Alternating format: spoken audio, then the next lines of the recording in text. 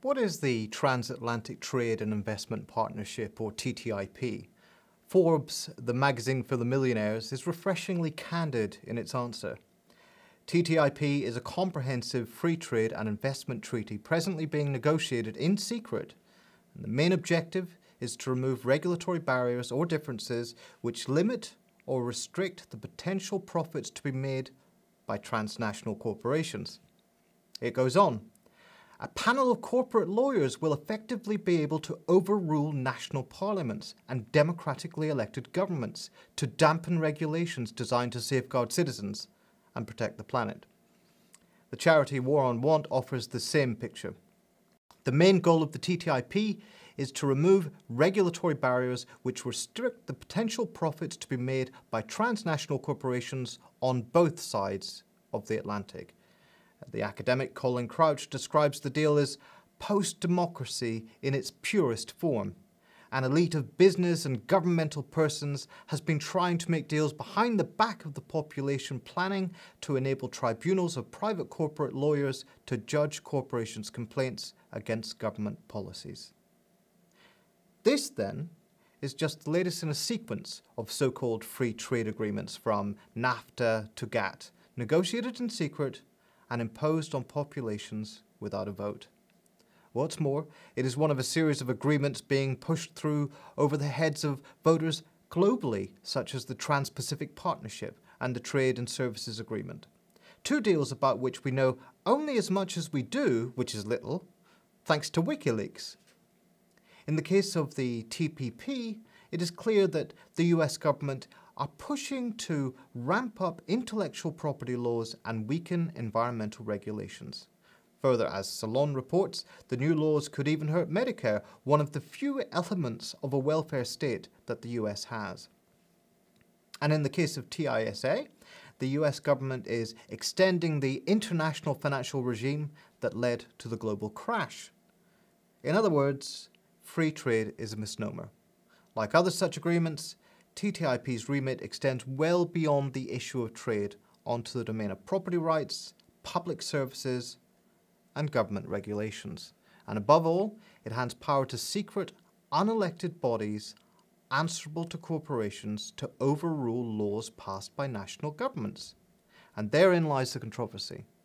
What picture then has the media given of this extraordinary Washington led offensive to erode our democracy and to make life easier for the profiteers.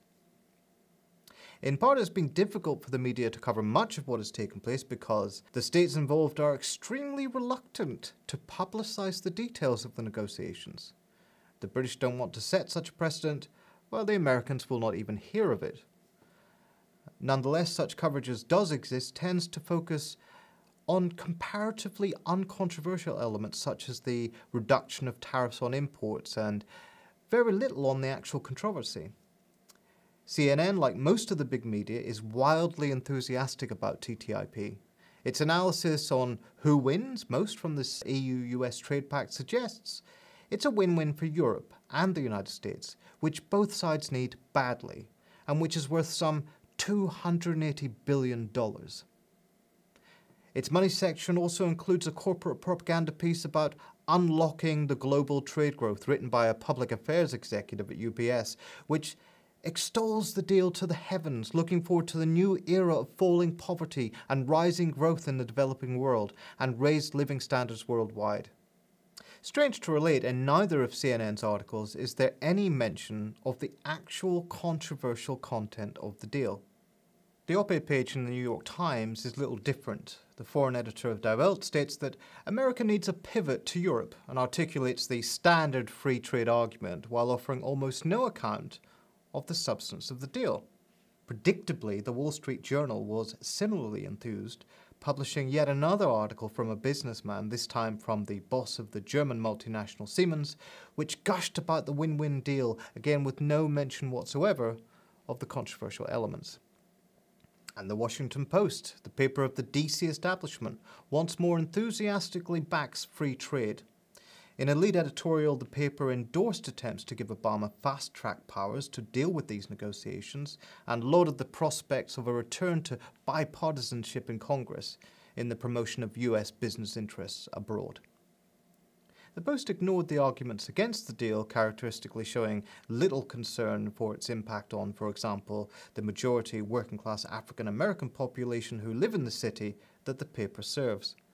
The British press, overwhelmingly right wing and pro business, is also in many cases simply acting as a propaganda arm of TTIP. For example, the Financial Times, a serious business paper, reports on the EU Commission's attempts to counter charges of secrecy by publishing a document outlining its proposals, without mentioning that this document had been circulated on the internet for about a year beforehand. On the more clownish end of the media spectrum, the Telegraph carried an article by the London Mayor Boris Johnson arguing that Winston Churchill would be beaming over this trade deal and exhorts readers to ignore all the nutty left wing protesters while simultaneously ignoring most of the issues at stake. To its credit, the BBC offers a relatively balanced explanation of the deal, reporting both on what TTIP's advocates claim and on what its critics say. But the only spaces in the British media where any sustained elaboration of the anti TTIP argument can be heard are the online comment pages of the liberal papers, such as The Independent and The Guardian, with George Monbiot stating that TTIP will throw equality before the law on the corporate bonfire. Furthermore, almost all coverage of TTIP highlights the alleged benefits for employment growth and GDP growth. And they claim that up to £10 billion could be added each year to the UK economy alone. But as Forbes and War on Want point out, these figures are contested by almost every serious study. In fact, War on Want reveals that the official assessment of the Centre for Economic Policy Research, which was cited by the European Commission to demonstrate the benefits of the deal, was that over 1 million jobs would be lost. No newspaper covered this. The Economic Policy Institute estimates that 71,000 jobs could be lost in the US if the deal goes ahead, but states that this is a conservative figure and it could be much higher. So far from rising tides lifting all boats, as most news organizations have claimed, there is a growing base of evidence suggesting that, as with all these trade deals, there will be winners and losers, and the losers will be ordinary working class people.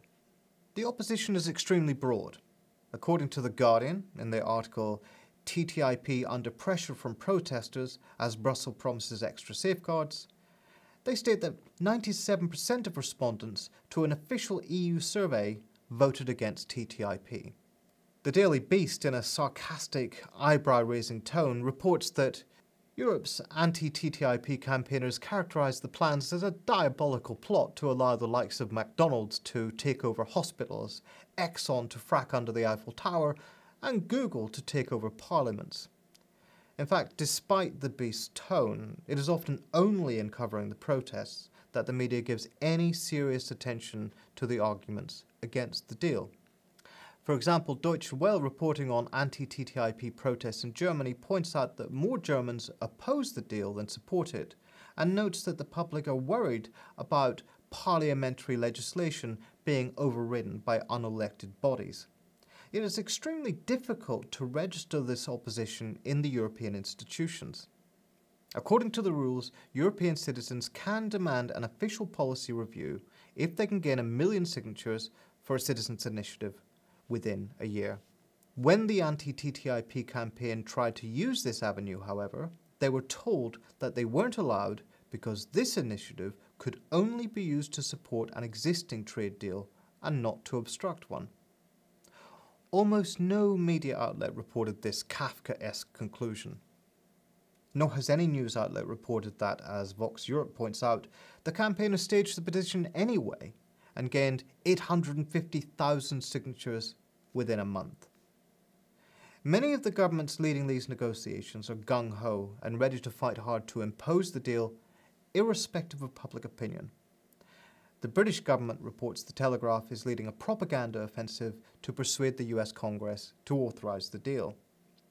Further, as the Corporate Europe Observatory reports, the vast majority of European businesses are supportive of the deal even if the majority of civil society groups are opposed. Yet, to the extent that there is room in the corporate media for any serious discussion of the problems with TTIP, it is in part because European elites are divided and some of that division is being caused by public pressure. Indeed, there are always divisions over these agreements. The US Trade Representative's hard line stance on intellectual property rights, for example, has generated significant opposition in negotiations over the Trans Pacific Partnership, according to law professor Michael Geist. And it was similar disagreements, coupled with popular opposition, that frustrated the success of the free trade lobby during the World Trade Organization negotiations in Seattle in 1999 and in Doha in 2008. What is clear from the majority of the reporting, however, is that whatever divides elites, what unites them, from the media to national governments to business lobbies, is the conviction that the general public has no significant role to play in any of these decisions.